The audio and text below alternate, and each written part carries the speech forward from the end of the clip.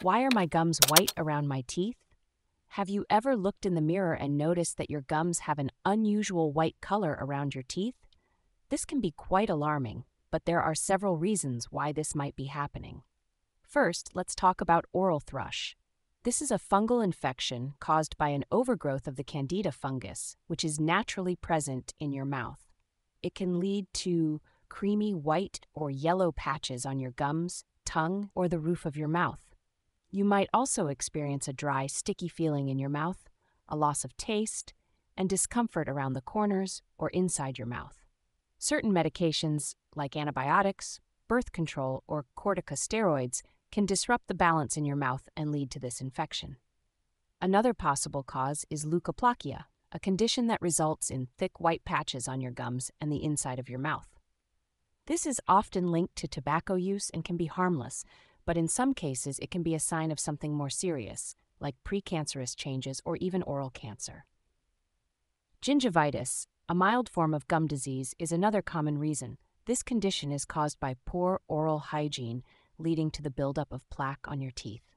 While gingivitis typically causes red, swollen, and bleeding gums, it can also result in white patches or a pale appearance as the gums recede from the teeth. Anemia, a condition where your body lacks enough healthy red blood cells can also cause your gums to appear white. This is because the reduced oxygen supply affects the color of your gums. Anemia can be due to iron or vitamin B12 deficiencies or conditions like Crohn's disease or celiac disease. Teeth whitening treatments can sometimes cause chemical burns on your gums, leading to white spots. This is usually temporary but can be uncomfortable.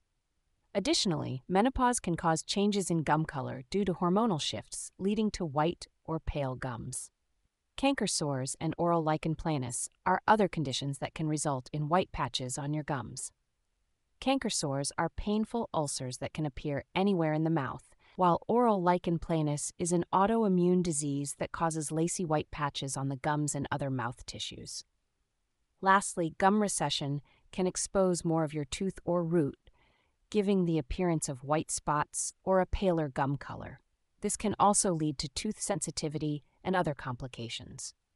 If you notice white gums, it's important to consult a dentist to determine the underlying cause and get the appropriate treatment. Regular dental checkups and good oral hygiene practices can help prevent many of these conditions.